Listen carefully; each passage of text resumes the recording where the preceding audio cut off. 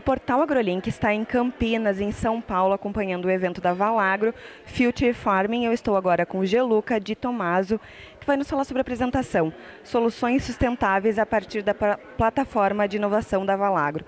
Em termos de soluções sustentáveis, o que tem sido feito no Brasil e também nas unidades do exterior? Valagro já faz anos que tem várias soluções aqui no Brasil, eh, desenvolvida no grupo dos cultivos eh, das grandes culturas, soja, milho e HF. Eh, soluções para a mais importante que temos já no mercado disponível aqui no Brasil é para a proteção dos cultivos, eh, na, no caso de estresse abiótico dos cultivos. Então, essa tecnologia que já foi apresentada hoje mesmo ajuda a planta para uh, se desenvolver melhor, reduzir o efeito negativo, o impacto negativo que o estresse biótico, como pode ser seca, frio, calor, luz, uh, afetam o potencial genético da mesma. Então, a aplicação dessa solução como o Megafol uh, nos permite de reduzir essa redução de produção.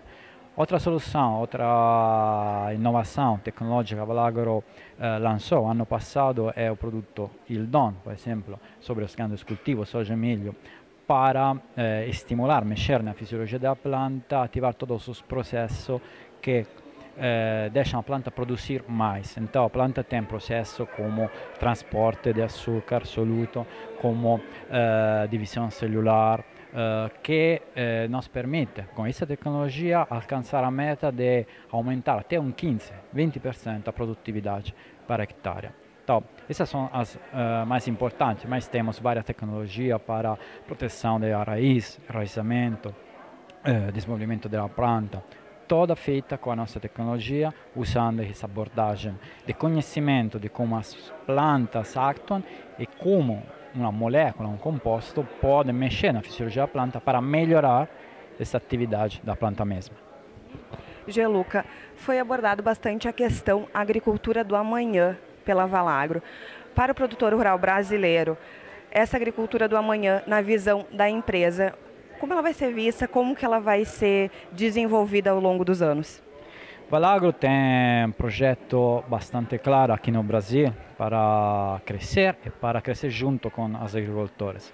Como vimos, a agricultura em geral tem vários desafios. Temos que produzir mais comida porque a população mundial está subindo temos que produzir, mais comida de jeito sustentável, no respeito do meio ambiente e também com menos recursos. Então, eh, atividade, desafio da Avalagro é fornecer para os agricultores do Brasil ferramentas para atingir essa meta. Então, algo que possa ajudar para melhorar a produtividade, respeitar o meio ambiente. Todos os produtos que a gente desenvolve são produtos biológicos, que não têm impacto ambiental eh, e que ajudam a melhorar a produtividade. Mais produtividade no respeito do meio ambiente com menos recursos. Isso é algo que o Valagro quer fazer aqui no Brasil, está fazendo já no mundo e temos um projeto bem forte, temos já a planta de produção, vamos ter uh, pesquisa aqui uh, que vai a trabalhar junto com a pesquisa que já temos em outro lugar,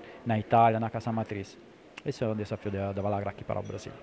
Geluca, finalizando. Este evento é uma troca de conhecimento, temos pesquisadores e professores ressaltando essa importância para o produtor rural. A iniciativa ajuda nessa questão de inovação da Avalagro?